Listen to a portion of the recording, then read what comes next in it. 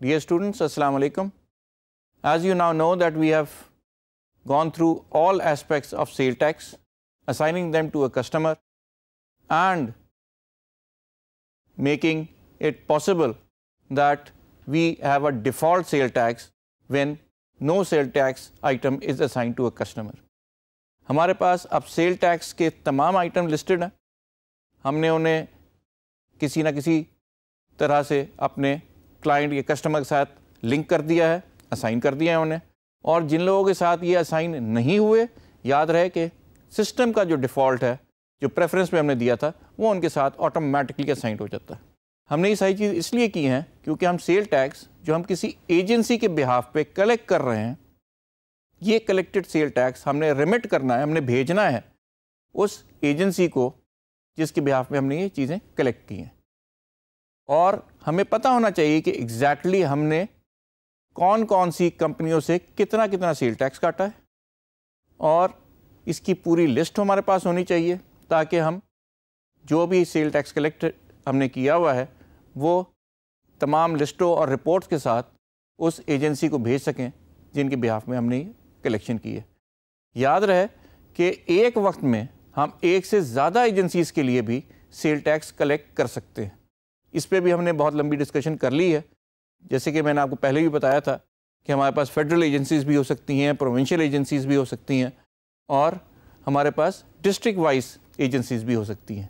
या इनका एक कंबाइंड ग्रुप भी हो सकता है, जिसके लिए हम मुख्तलिफ़ परसेंटेज के ऊपर सेल टैक्स जनरेट कर रहे हैं कलेक्ट कर रहे हैं और अपने पास रख रहे हैं टू बी लिमिटेड याद रहे, हमने एक चीज़ और डिस्कस की थी, वो थी पीरियड या फ्रीक्वेंसी ऑफ़ रेमिटेंस यानी कब हमने ये जो कलेक्शन की है, वो अरसाल करेंगे इन एजेंसीज़ को। साल छः महीने बाद क्वार्टरली बेसिस या मंथली ज़्यादातर टैक्स एजेंसीज़ ये तमाम चीज़ें मंथली बेसिस पे चाहती हैं। तो बेसिकली हमें ये चाहिए कि हमारे पास एक रिपोर्ट आए, जो हमें बता सके कि हमने कितना कितना सेल टैक्स किन किन कस्टमर्स या क्लाइंट से हमने कलेक्ट किया है। और किस किस इन्वॉइस के अगेंस्ट कलेक्ट किया है। अगर कोई कस्टमर या क्लाइंट एग्जाम्प्ट है तो वो क्यों एग्जाम्प्ट है? उसकी डिटेल भी हमारे पास होनी चाहिए कि हम एजेंसीज़ को बता सकें कि ये तमाम हमारी इन्वॉइसेस हैं, जिसमें हमने ये कलेक्शन की है।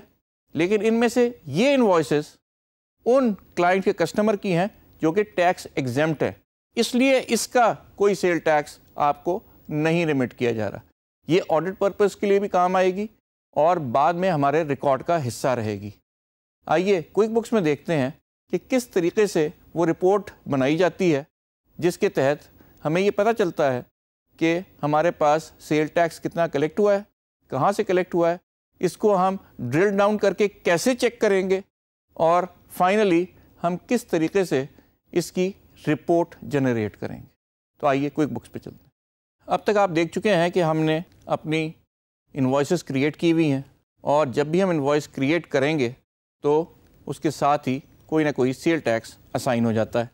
आइए एक हम सेल टैक्स क्रिएट करके देखते हैं।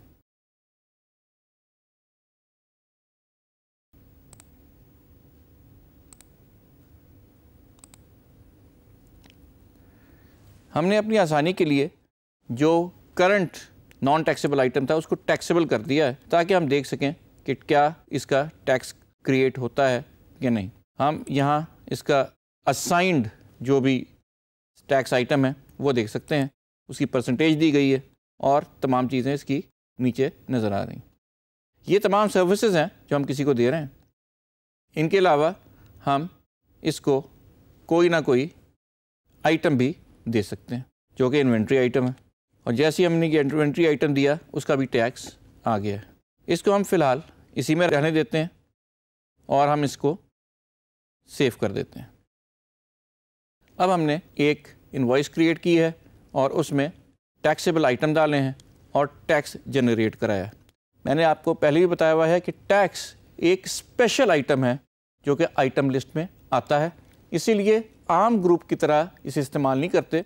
इसका सेल टैक्स का ग्रुप भी अलग बनता है और इसको मैनेज करने के लिए भी आपकी स्क्रीन के ऊपर मैनेज योर सेल टैक्स के नाम से एक आइटम मौजूद है। हमने अपने होम पेज पे मैनेज योर सेल टैक्स को क्लिक करना है। जैसे ही हम उस क्लिक करेंगे, जो स्क्रीन हमारे सामने आएगी, वो हमसे ये पूछ रही है कि आपने क्या इसका कोई फॉर्म बनाना है? कोई रिपोर्ट निकालनी है और क्या आपने सेल टैक्स पे करना है? ये जो पोर्शन आपको नज़र आ रहा है, ये आपका prepare and pay sale tax का हिस्सा है। याद रहे कि सेल टैक्स हमारी एक लाइबिलिटी है। सेल टैक्स हमने लोगों से लिया ज़रूर है, लेकिन ये हमारी मिल्कियत नहीं है। सेल टैक्स हमेशा उस एजेंसी की मिल्कियत है, जिसके बिहाफ पे हमने ये सेल टैक्स कलेक्ट किया है। याद रहे, इसलिए ये लाइबिलिटी है। पैसे हमारे पास आए, लेकिन हमारे पैसे है नहीं, किसी और कंपनी के। आइए देखते हैं कि सेल टैक्स लाइबिलिटी के लिए जब हम रिपोर्ट बनाएँगे तो वो कैसी होगी। जैसी आपने सेल टैक्स लाइबिलिटी को क्लिक किया, हमारे पास एक पूरी रिपोर्ट जो इस मुद्दत में सेल टैक्स कलेक्ट किया गया है, वो नज़र आ गई है। हम डेट्स कहीं से भी चूज़ कर सकते हैं। हमारे पास बहुत सारे ऑप्शन अवेलेबल हैं। इनमें से जो आपको ज़्यादा बेहतर लगता है, आप वो इस्तेमाल कर सकते हैं। Today this week week to date week to date इस हफ़्ते से लेके आज की तारीख। ये सारे ऑप्शन आपके पास अवेलेबल हैं। अगर आपको ये टर्म समझ में आ रही हैं, यहाँ से इस्तेमाल करें, नहीं तो पुराना तरीका हमारा है। फ्रॉम और टू डेट पे हम इसको सॉर्ट कर सकते हैं। हम इसको फ़िलहाल, जैसे हमें नज़र आ रहा है, उसी पर रहने देते हैं, ताकि हमें समझाने में और समझने में आसानी हो। आपके पास जो स्क्रीन पे इस वक्त टैक्स नज़र आ रहे हैं, उसमें आपके पास हर टाइप ऑफ़ टैक्स की डिटेल नज़र आ रही है। इसका मतलब यह है कि इनकी तमाम समराइज्ड इंफॉर्मेशन हमारे पास at a given point of time इस स्क्रीन में मौजूद है। हमारे पास सबसे बड़ी चीज़ इस फॉर्म की ये है, क्योंकि कंप्यूटराइज है, कि हमारे पास ड्रिल डाउन की फैसिलिटी मौजूद है। ड्रिल डाउन का मतलब ये है कि हम इसको क्लिक करके इसकी डिटेल चेक कर सकते हैं। टोटल सेल्स को भी नॉन टैक्सेबल सेल्स को भी टैक्सेबल सेल्स को भी हम जब चाहें, हम ड्रिल डाउन करके देख सकते हैं कि इसमें कौन कौन सी इन्वॉइसेस मौजूद हैं और इस्तेमाल हुई हैं। आइए देखते हैं। नीचे, जैसे ही हमने उसको क्लिक किया, एक नई रिपोर्ट बन के सामने आ गई, जिसमें तमाम इन्वॉइसेस जो इस पर्टिकुलर कस्टमर के अगेंस्ट बनी हुई थी, उसकी अमाउंट्स सामने आ गई हैं और इस पे नॉन टैक्सेबल सेल का इंफॉर्मेशन भी हमें आ रही है कि ये इतनी अमाउंट की जो सेल है, वो नॉन टैक्सेबल है। इसी तरह, जो टैक्सेबल सेल है, उसकी इंफॉर्मेशन भी यहाँ मौजूद है। सबसे अहम चीज़ ये है कि तमाम टाइप ऑफ़ टैक्सेस एक जगह लिस्टेड है। अगर उस टाइप ऑफ़ टैक्स में एक से ज़्यादा टैक्सेस शामिल होकर एक ग्रुप बना हुआ है तो वो भी लिस्टेड है और उनकी परसेंटेज भी अलहदा अलहदा लिस्टेड है। So in effect what we are doing here is that we are making a comprehensive list of taxes collected under various heads computer को पता है कि जब आपने एक ग्रुप में भी कटौती की थी तो हमारे टैक्सेस किस किस मद में किस किस आइटम सेल टैक्स आइटम के अगेंस्ट कटे अब आप यहाँ देख सकते हैं कि ये वो लिस्ट है कॉम्प्रिहेंसिव जो हमें बता रही है कि हमारा कितनी टैक्सेबल सेल हुई है।